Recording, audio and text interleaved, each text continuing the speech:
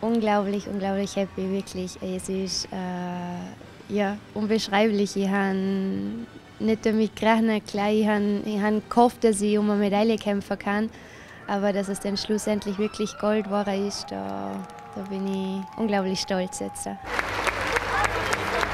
winner, European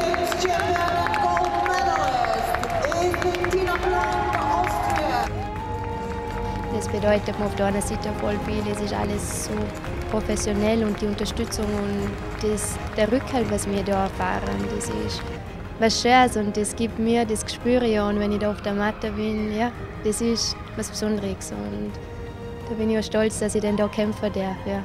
Für uns ist das sowieso immer ganz was Besonderes, ein besonderes Ereignis, weil es ist riesengroß. Also das habe ich in Baku schon erleben dürfen, da war das erste Mal für mich. Und dann im Finale die Türkin, das ist ganz klar die Führende von der Weltrangliste, wirklich eine Top-Athletin dass ich diesmal der Kampf für mich entschieden habe, war, war extrem schön, wo ich mich total gefreut habe. Ja, die European Games waren für uns jetzt der Saisonshöhepunkt. Das war der wichtigste Wettkampf für uns und das ist einfach ein ganz ein wichtiger Schritt hinsichtlich für die Qualifikation für Tokio 2020.